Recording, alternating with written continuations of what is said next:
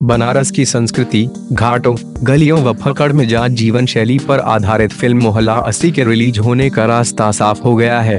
केंद्रीय फ़िल्म प्रमाणन बोर्ड को दिल्ली न्यायालय ने सप्ताह भर के भीतर एक कट के साथ एक प्रमाण पत्र जारी करने का आदेश दिया है।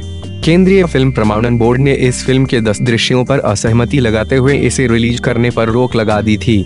न्यायालय के आदेश के बाद सिने प्रेमियों को इस फ़िल्म के रिलीज़ होने का बेसब्री से इंतज़ार है। प्रसिद्ध कथाकार प्रोफेसर काशीनाथ सिंह के चर्चित उपन्यास काशी का अस्सी पर आधारित इस फ़िल्म की शूटिंग बनारस के घाटों, गलियों में हुई है। ज़्यादातर शूटिंग अस्सी घाट के अतिरिक्त अस्सी मोहल्ले की गलियों में कराई गई है। इस फ़िल्म में बनारस की संस्कृति से जुड़े फ़ोटो के अतिरिक्त बनारसीपन की झलक खास है। केंद्रीय फ़िल्म प्रमाणन बोर्ड ने इस फ़िल्म के दस दृश्यों पर असहमति लगाते हुए उसे कट करने के लिए बोला था। विवादित संवादों के चलते लंबे समय से यह फ़िल्म सेंसर बोर्ड में अटकी थी। इसके कुछ दृश्यों से धार्मिक भावनाएँ आहत होने की भी बात कही जा रही थी। इसलिए सेंसर बोर्ड ने फ़िल्म को सर्टिफिकेट देने से मना कर दिया था। इस पर निर्देशक चंद्र प्रकाश द्विवेदी राज़ी नहीं हुए थे। सेंसर बोर्ड की फ़िल्म रिलीज़ पर लगी रोक के विरुद्ध फ़िल्म निर्माता ने न्यायालय में अर्जी दी थी। न्यायालय के आदेश के बाद इस फ़िल्म के रिलीज़ होने का रास्ता साफ़ होने पर फ़िल्म निर्माता ने बोला कि वे इसे जल्द से जल्द सिनेमा घरों में प्रदर्शित करने का कोशिश करेंगे।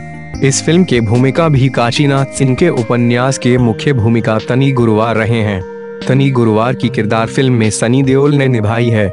निर्माता विनय तिवारी ने बताया कि फ़िल्म के संवाद में कुछ गालियाँ भी हैं जो सामान्य वार्ता के दौरान बनारस में प्रयोग की जाती हैं। इससे पहले भी इस तरह की कई फ़िल्में सेंसर बोर्ड से पास हुई हैं। उल्लेखनीय है फ़िल्म मोहल्ला असी 2011 से 12 में बनकर तैयार हुई थी। तब से इसके रिलीज़ होने का लोगों को इंतज़ार है। अगस्त 2015 में यह फ़िल्म तब चर्चा में आई जब इसका ट्रेलर रातों रात ऑनलाइन लीक हो गया था।